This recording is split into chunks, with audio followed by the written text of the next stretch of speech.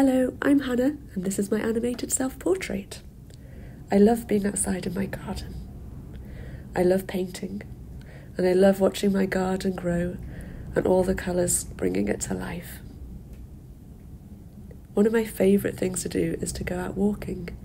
I love walking with my partner and with my dog. I like exploring new places, especially along the coastal path. What I dream of is a garden that continues to grow and becomes more and more beautiful. This will make me really happy.